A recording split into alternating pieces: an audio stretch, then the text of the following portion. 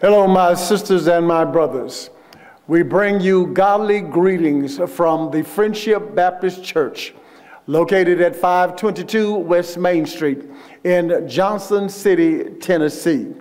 My name is Reverend Lester D. Lattany, and I serve as the senior pastor of this church, which has been blessing the people of God for over 104 years.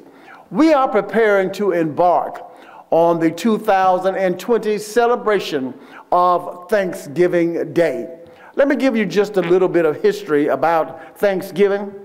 It was in 17, uh, 1620 in September that a small ship called the Mayflower left Plymouth, England, carrying 102 passengers an assortment of religious separatists seeking a new home where they could freely practice their faith and other individuals lured by the promise of prosperity and land ownership in the new world. That lasted about 66 days, that dropped anchor near the tip of Cape Cod, far north of their intended destination at the mouth of the Hudson River. One month later, the Mayflower crossed Massachusetts Bay, where the pilgrims, as they are now commonly known, began the work of establishing a village at Plymouth.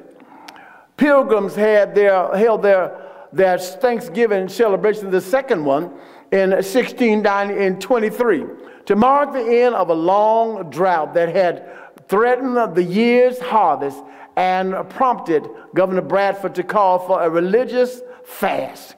Days of fasting and thanksgiving on an annual or occasional basis became common practice in other New England settlements as well. But that first Thanksgiving, after they had gone through a very horrible and horrendous winter, and they celebrated with the Native Americans at that time so that they could give God gratitude for the fact that they were still yet alive with all of the challenges that they faced during that horrible winter time.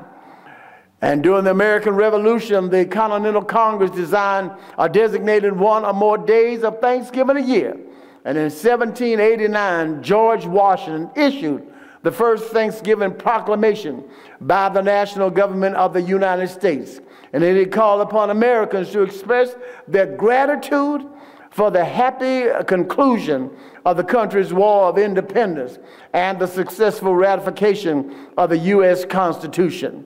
His successors, John Adams and James Madison, also designated days of Thanksgiving during their presidencies we have come to a point in the history of our nation that we need to make sure that we are never, ever so ungrateful that we do not thank God for his kindness, for his provision, and for all that he has blessed us with down through the years.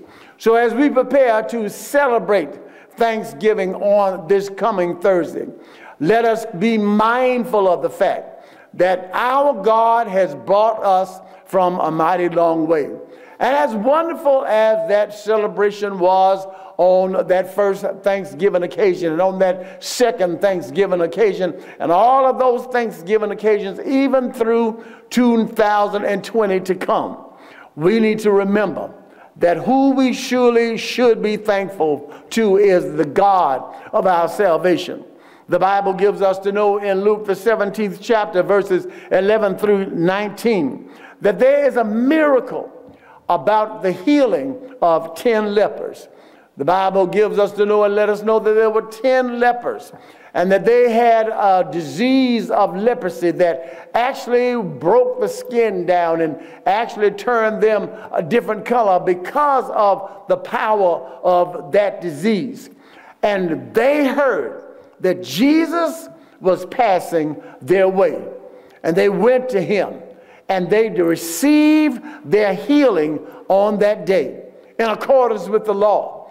They had to go to the priest, and the priest would declare them as clean before they could go home, clean before they could go back into society, clean before they would be able to do what they had normally done. So they held themselves, lepers did, in those colonies and just huddled together. But when those lepers, those 10 lepers, were healed by Christ Jesus, They went on their way. They started on their way to go and be declared whole by the priest.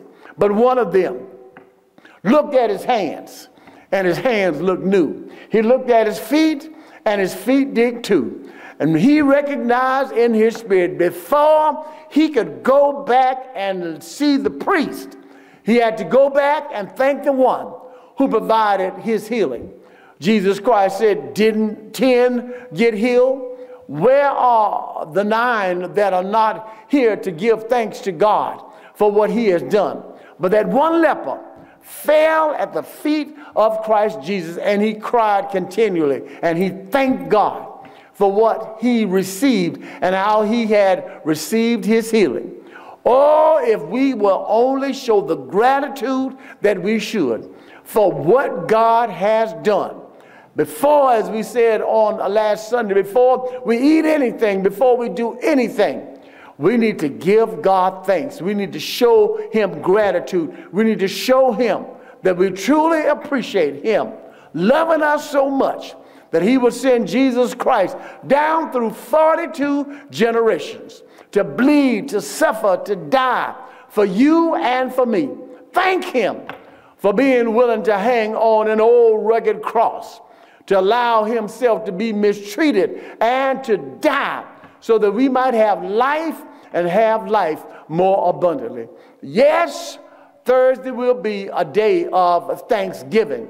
But I'm here to tell you that every day is a day of thanksgiving because God has been so good to us and He has truly brought us from a mighty long way.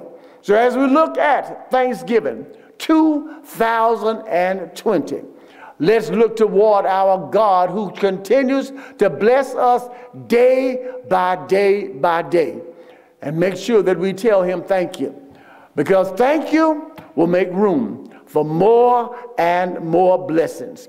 We want to tell you as you celebrate, happy Thanksgiving. Take care of your family in the midst of this virus. Please continue to wear your mask.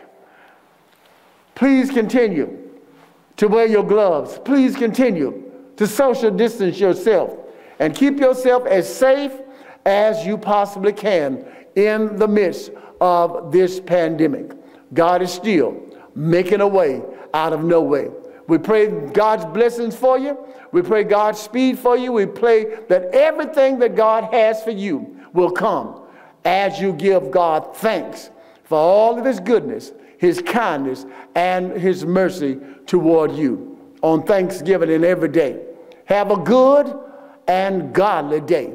Be blessed and be a blessing. God bless you. Father, we thank you for the celebration of Thanksgiving. We thank you for the blessedness that you have already provided for us. We thank you for what you're doing right now. And Father, we thank you for what you are preparing to do in the future of this great nation and we who are your people and all who should be your people. Thank you for Thanksgiving 2020. We give your name glory, honor, and praise for being the God who makes a way out of no way. We love you and we thank you for loving us. In the name of Christ Jesus, we pray. Amen and amen.